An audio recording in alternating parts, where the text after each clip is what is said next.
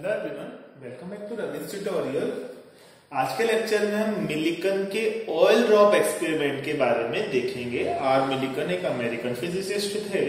उन्होंने इलेक्ट्रॉन की ई e और एम की अलग अलग वैल्यू को कैलकुलेट करने का काम किया। हम जानते हैं कि जो जे जे थॉमसन थे, उन्होंने ई बाई एम की वैल्यू ऑलरेडी कैलकुलेट की हुई थी और ई बाई एम की जो वैल्यू थी, वो कैलकुलेट करने पर मिली थी 1.75 point seven five into ten to power eleven coulomb per K G तो ई बाई एम की वैल्यू तो मिल गई थी, लेकिन e और एम की इंडिविजुअल वैल्यू नहीं निकाली जा सकी थी। तो उस वैल्यू को निकालने के लिए या इलेक्ट्रॉन के चार्ज की कैलकुलेशन करने के लिए मिलिकन ने ऑयल ड्रॉप एक्सपेरिमेंट किया। इसमें जो एक्सपेरिमेंटल सेटअप था, पहले हम उसको समझ लेते हैं। उन्होंने एक कंटेनर लिया। कंटेनर में दो मेटल प्लेट लगाई। एक ऊपर मेटल प्लेट एक नीचे मेटल प्लेट इस प्लेट को कंडक्टिंग वायर की हेल्प से वेरिएबल वोल्टेज वाली बैटरी से जोड़ दिया, जिसका वोल्टेज हम रेगुलेट कर सकते हैं। इसमें नीचे वाले सेक्शन में एक्सरे को एक्सरे को डालने के लिए इंतज़ाम किया गया, इसकी व्यवस्था की गई और यहाँ पे ऊपर वाले सेक्शन में ऑयल को स्प्रे किया गया। स्प्रे करने के लिए स्प्रेयर एटोमाइजर का यूज़ किया गया, जिससे ऑयल की छोटी छोटी पार्टिकल्स यहाँ पे आ गए। ऊपर वाली प्लेट पे टाइनी हॉल किया गया, जहाँ से ऑयल की ड्रॉप्स नीचे आ सकती हैं। सबसे पहले जब हमने इस बैटरी को कनेक्ट नहीं किया या स्विच ऑन नहीं किया, तब तक ये जो पार्टिकल्स थे ऑयल के पार्टिकल्स वो नीचे गिरते जा रहे थे। अब हमने यहाँ पे एक्सरे को फ्लो करवाया तो अंदर वाली जो गैस भरी हुई है इस वाले सेक्शन में, वो एक्सरे की वजह से आयोनाइज हो गई। आयोनाइज होने के मतलब उस गैस से इलेक्ट्रॉन निकलने लग गए। उस गैस से जो इलेक्ट्रॉन निकले, वो एक जो ऑयल ड्रॉपलेट हम कंसीडर कर लेते हैं, जैसे ये एक ऑयल ड्रॉपलेट है, इस पर वो जो इलेक्ट्रॉन थे, वो आकर एडजस्ट हो गए। अब कितने इलेक्ट्रॉन इस पर आए हम नहीं कह सकते हैं, लेकिन कुछ इलेक्ट्रॉन हर ऑयल ड्रॉपलेट पर आ गए। लेकिन जब तक अभी हमने इसको बैटरी से कनेक्ट नहीं किया, तब तक कोई फ़र्क नहीं पड़ता कि इस पे इलेक्ट्रॉन आए या नहीं आए हैं। ये फ्रीली ग्रेविटेशन के ग्रेविटेशन अंडर ग्रेविटेशन ही नीचे की तरफ़ मूव करती जाएँगी, नीचे की तरफ़ आती जाएँगी और धीरे धीरे नीचे आती गई। अब थोड़ी देर बाद हमने इस वाली रॉड को कनेक्ट कर दिया। स्विच को ऑन कर दिया ऐसे। जैसे स्विच को ऑन करेंगे, ये सर्किट कंप्लीट हो जाएगा। और हमने जो यहाँ लिया है, वो वोल्टेज सोर्स वेरिएबल वाला लिया है। अब ऐसा करने पर ये वाली प्लेट नेगेटिव चार्ज है और ये वाली प्लेट पॉजिटिव चार्ज है, क्योंकि नेगेटिव टर्मिनल से जुड़ी हुई है, ये पॉजिटिव टर्मिनल से जुड़ी हुई है। अब हम ऑलरेडी कैथोड एक्सपेरिमेंट में देख चुके हैं कि इलेक्ट्रॉन पर नेगेटिव चार्ज होता है और हम जानते हैं कि सेम चार्ज रिपेल करता है। तो नीचे वाली जो नेगेटिव प्लेट है, वो इस ऑयल ड्रॉप को अब रिपेल करना स्टार्ट कर देगी, क्योंकि हम जानते हैं कि ऑयल ड्रॉप पे इलेक्ट्रॉन्स आ गए हैं मतलब ऑयल ड्रॉप नेगेटिवली चार्ज हो गई है।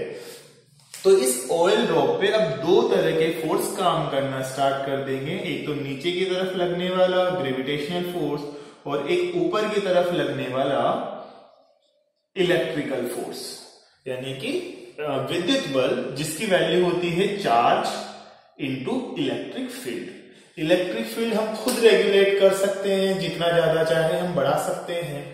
अब जब इलेक्ट्रिक फ़ील्ड नहीं था, तब तो ये फ्रीली गिर रही थी, लेकिन जैसे हमने इलेक्ट्रिक फ़ील्ड लगाया, ऊपर की तरफ़ भी फोर्स बढ़ेगा तो इसके नीचे गिरने की वेलोसिटी धीरे धीरे घटेगी। और अगर हम इसको इतना बढ़ा दें कि ये वाली जो ऑयल ड्रॉप है, ये हवा में लटक जाए मतलब ये इसका फोर्स नीचे वाला और ऊपर वाला बैलेंस हो जाए तो हम इस पर चार्ज की कैलकुलेशन कर सकते हैं।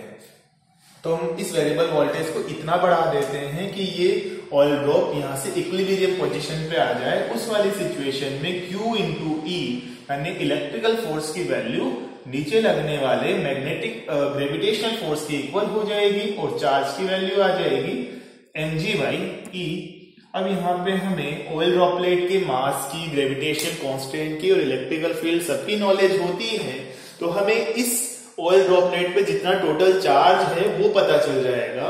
और जब देखा गया अलग अलग ऑयल ड्रॉपलेट्स के लिए इस क्यू की क्यू की वैल्यू कैलकुलेट की गई तो देखा गया कि इस क्यू की वैल्यू हमेशा 1.6 point six into ten to power minus nineteen coulomb का इंटीग्रल मल्टीपल आ रहा था। मतलब या तो ये आ रहा था 1.6 point six into ten to power minus nineteen coulomb या 3.2 point two into ten to power minus nineteen coulomb या 4.2 point two into ten to power minus nineteen coulomb मतलब ऐसा नहीं था कि इससे कम कोई वैल्यू आ रही हो कभी। या ऐसा आ जाएगा one point eighteen into ten to power minus nineteen ऐसा कभी नहीं आ रहा था। या तो वैल्यू ये आ रही थी या इसकी कोई इंटीग्रल मल्टीपल आ रही थी। तो इससे ये कंक्लूड किया गया कि ओएल ड्रॉपलेट पे जो भी चार्ज आ रहा है वो इलेक्ट्रॉन की वजह से आ रहा है। इलेक्ट्रॉनों का चार्ज क्वांटाइज्ड है मतलब 1.6 point six into ten to power minus nineteen है। तो इस तरीके से इलेक्ट्रॉन का चार्ज डिसाइड किया गया कि ये 1.6 point six into ten to power minus nineteen coulomb होगा। ये ऑलरेडी डिसाइड किया जा चुका था कि इस पर नेगेटिव चार्ज है तो हम चाहे तो आगे माइनस लगा सकते हैं। ठीक है? तो इस तरीके से ई e की कैलकुलेशन हो गई। अब हमें ई बाई एम की वैल्यू पहले से पता थी। ई e की कैलकुलेशन हो गई तो हम मास ऑफ़ इलेक्ट्रॉन भी निकाल सकते हैं। मास ऑफ़ इलेक्ट्रॉन कैसे निकलेगा? E upon E by M ऐसे? E upon E by M अगर कर दें, इस ई e में ई बाई एम की को डिवाइड कर दें तो मास ऑफ़ इलेक्ट्रॉन आ जाएगा। अब e की वैल्यू है 1.6 point six into ten to power minus nineteen coulomb और ई बाई एम की वैल्यू है 1.75 point seven five into ten to power eleven coulomb sorry coulomb per KG तो गुलाम से गुलाम कट जाएगा केजी ऊपर जाएगा. तो फाइनल वैल्यू आएगी 9.1 point one into ten to power minus thirty one K G तो इस तरीके से इलेक्ट्रॉन की वैल्यू इलेक्ट्रॉन के मास की वैल्यू आ गई 9.1 point one into ten to power minus thirty one K G और इलेक्ट्रॉन के चार्ज की वैल्यू आ गई 1.6 point six into ten to power minus nineteen coulomb negative में ए वाई एम की वैल्यू ऑलरेडी गिवन थी 1.7 point seven seven five into ten to power eleven coulomb per K G तो इस तरीके से इलेक्ट्रॉन की सारी प्रॉपर्टीज़ की स्टडी की गई। आई होप आपको ये वीडियो समझ में आया होगा। अगर आपको वीडियो अच्छा लगा है तो प्लीज़ मेरे चैनल को सब्सक्राइब कीजिए। Thank you